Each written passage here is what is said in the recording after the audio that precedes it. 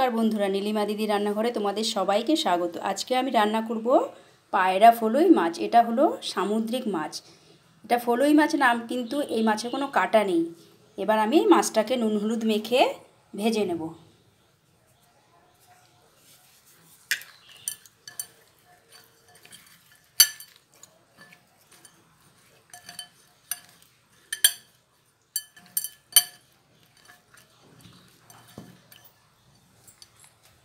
তেল গরম হয়ে গেছে, মাছটা আমি ভেজে নিচ্ছি।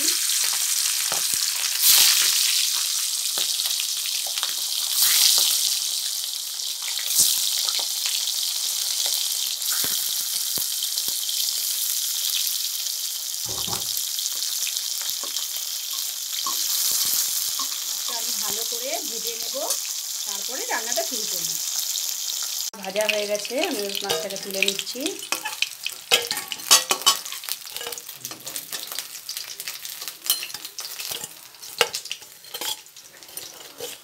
এই মাছটাকে রান্না করতে আমার কী কী লাগবে দেখো? আলু, পেঁয়াজ বাটা, আদা বাটা, রসুন বাটা, কুচনো টমেটো, একটু গরম মশলা, ধনে গুঁড়ো, জিরে গুঁড়ো, লবণ, হলুদ, কাশ্মীরি মির্চ, গোলমরিচ গুঁড়ো এবং এমনি লঙ্কা গুঁড়ো। এবার আমি প্রথমে আলুটাকে ভেজে নেব।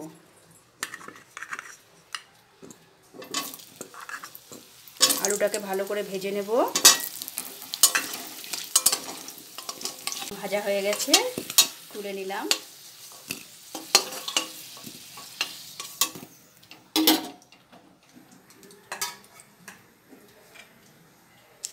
এবার ফোড়ন দিয়ে আমি রান্না শুরু করব। জিরে তেজপাতা দিয়ে দিলাম।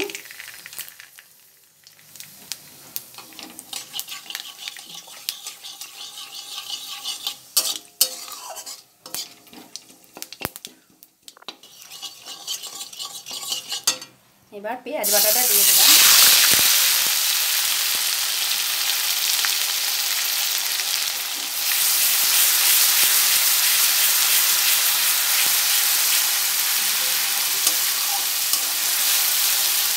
পেঁয়াজ বাটাটা একটু নেড়ে চেড়ে আদা বাটা, রসুন বাটা দিয়ে দিলাম।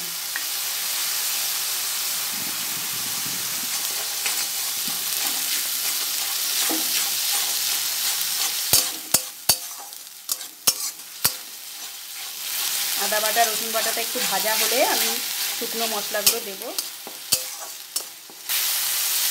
টমেটোটা দিয়ে দিলাম।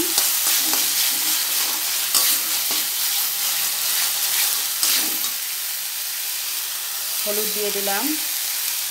নুন দিয়ে দিলাম। জিরে গুঁড়ো, আদা গুঁড়ো দিয়ে দিলাম। ধনে গুঁড়ো, জিরে গুঁড়োটা দিয়ে দিলাম। কাশ্মীরি মির্চ, লঙ্কা গুঁড়ো, গোলমরিচ গুঁড়ো সবই দিয়ে দিলাম। একটু সামান্য জল দেব।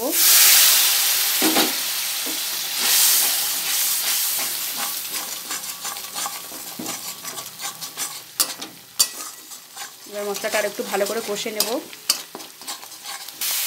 মশলা আমার কষানো হয়ে গেছে, এবার আলু দেবো।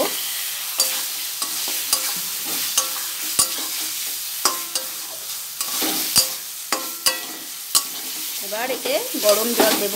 গরম জল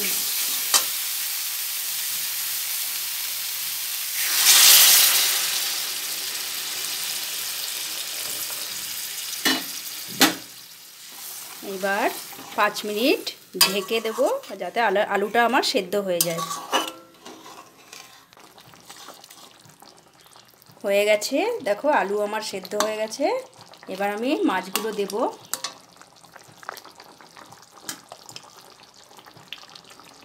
মাছগুলো দিয়ে দু মিনিট নেড়ে চেড়ে গরম মশলা দিয়ে নামিয়ে নেব।